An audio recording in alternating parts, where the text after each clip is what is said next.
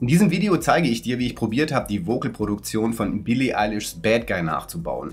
Ich zeige dir diesen Vocal Flutter Trick. Und ich zeige dir, wie ich über verschiedene Plugins versucht habe, diesen upfront modernen Pop-Vocal-Sound nachzubauen. Ich bin Martin von SongwriterOnline.com und wenn du zum ersten Mal auf diesem Kanal bist, hier geht es um Mixing, Songwriting und Musikproduktion. Wenn dich das interessiert, dann drück auf jeden Fall jetzt auf den Abonnieren-Button, damit du kein Video mehr verpasst. Billie Eilish singt in diesem Song sehr verhalten, sehr hauchig. Sie flüstert fast ins Mikrofon und du hast das Gefühl, sie steht praktisch direkt neben dir. Das kannst du zum einen erreichen, indem du dir den Nahbesprechungseffekt deines Mikrofons zunutze machst, indem du die Sängerin sehr, sehr dicht vor dem Mikrofon platzierst. Dadurch erreichst du einen sehr direkten, warmen und nahen Sound von der Stimme. Das ist aber für Vocalproduktion eher unüblich. Das machen eher Radiosprecher, die teilweise so nah am Mikrofon sind, dass sie es fast aufessen. Ich habe es in diesem Fall aber probiert, über verschiedene andere Effekte umzusetzen und wie ich das gemacht habe, das zeige ich dir jetzt im Projekt. Ich zeige dir zunächst mal die Vocals trocken, die ich hier eingestellt habe. Du siehst, hier ist bis jetzt nur der De-Esser drauf. Den lasse ich mal drauf und wir hören uns die Vocals jetzt einfach mal trocken an. What should now read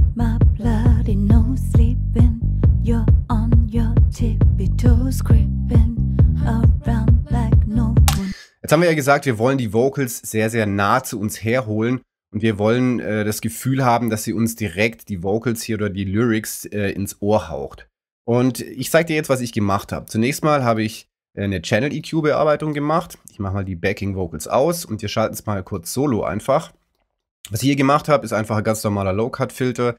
Um die 186 äh, Hertz hat es ein bisschen dumpf geklungen und hier relativ typisch um die 3000 Hertz habe ich ähm, angehoben, um 3 dB, um die Sprachverständlichkeit einfach zu erhöhen.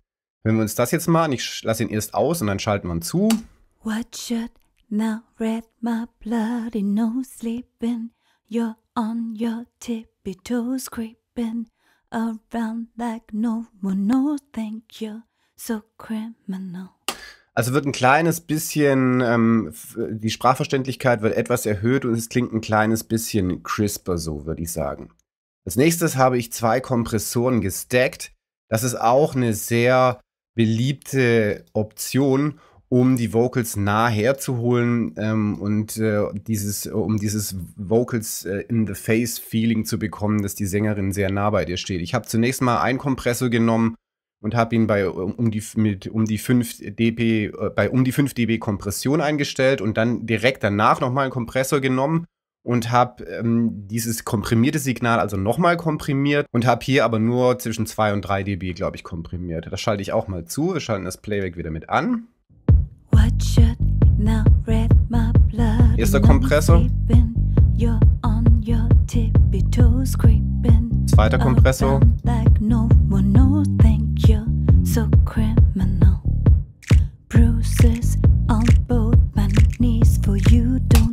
Als nächstes habe ich einen oder den Vintage Oral Exciter von Waves genommen. Das ist ein Vocal Enhancer, der im Obertonspektrum Frequenzen hinzufügt, die gar nicht da sind. Und das ist auch sehr gut dafür geeignet, um die Vocals nochmal crisper zu machen und nochmal näher herzuholen. Auch das zeige ich dir kurz. Mach ihn an.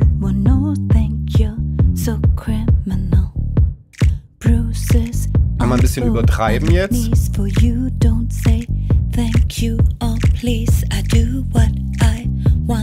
Wäre jetzt zu viel.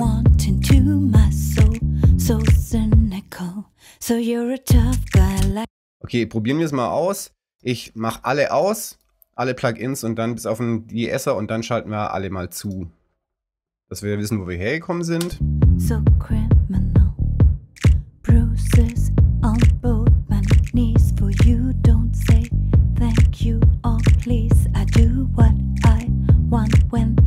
Wanting to. My soul so cynical. So you're a tough guy, like it really rough. Zum Schluss habe ich noch einen kleinen Hall eingesetzt, um den Raum, in dem sie steht, äh, vermeintlich etwas größer zu machen. Dazu schalte ich nochmal kurz Solo. Wir schalten den Hall zu. on both my knees for you. Don't say thank you or please. I do what I want when I'm wanting to. My soul so cynical.